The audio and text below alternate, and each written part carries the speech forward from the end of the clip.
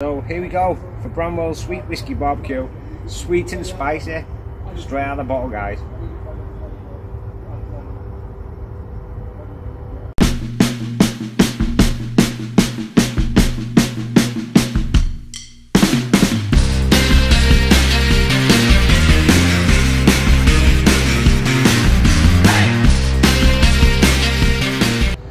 Hello, welcome back once again to Rob's Homemade and Reviews outside the workplace. The weather is picking up a little bit, it's not so cold and it's kind of nice, it's sun shining, it's lovely and we're here today for a sauce review. Not a hot sauce review, just a normal run-of-the-mill sauce review. So today we've been shopping at our local Aldi store and I've had this in my possession probably longer than I should have had. It's still in date, so we're all good. We have Bramwell's Sweet Whiskey Barbecue Sauce, Screaming Wings, Ribs, dip bit dippy dippy for your chips. We shall see. So we've got Bramwell's Sweet Whiskey Barbecue, sweet and spicy. Spicy. Let's hope so. So, Sweet Whiskey Barbecue Sauce.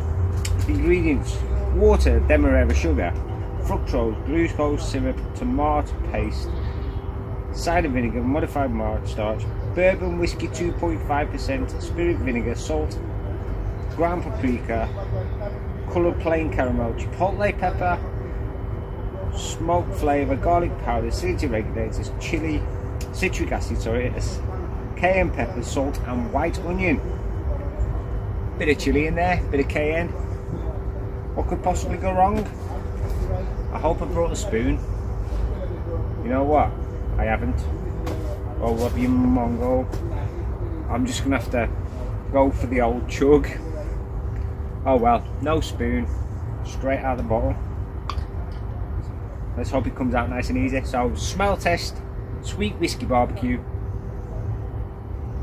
It's definitely sweet. It's got a load of sugar in here and it's got the barbecue what you would associate with a barbecue smell. The tomato paste a couple of little spices. Can't really smell any heat even though it says sweet and spicy. So we're gonna get that bang average six. It's nothing special it's just your average barbecue sauce. But it is Bramwell's it is Aldi so what was I expecting? Probably not a lot. So here we go for Bramwell's sweet whiskey barbecue Sweet and spicy. Straight out of the bottle, guys.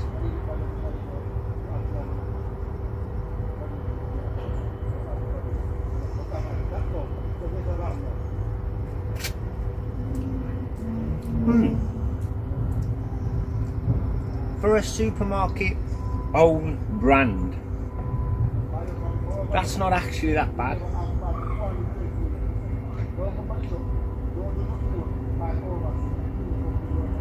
Would probably prefer it on a spoon or with some chips or something, not just straight out of the bowl. But I'm a complete idiot, and like I said, forgot my spoon. But you get that smoky taste, you get the tomato barbecue flavour, and there's a little hint of bourbon in there. You can actually taste it. There's no real spice to talk about.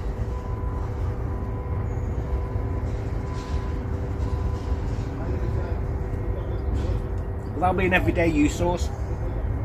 Whack it on some wings, like I said, barbecue ribs. Summertime, crack it open, put it on your uh, chicken or anything for the barbecue.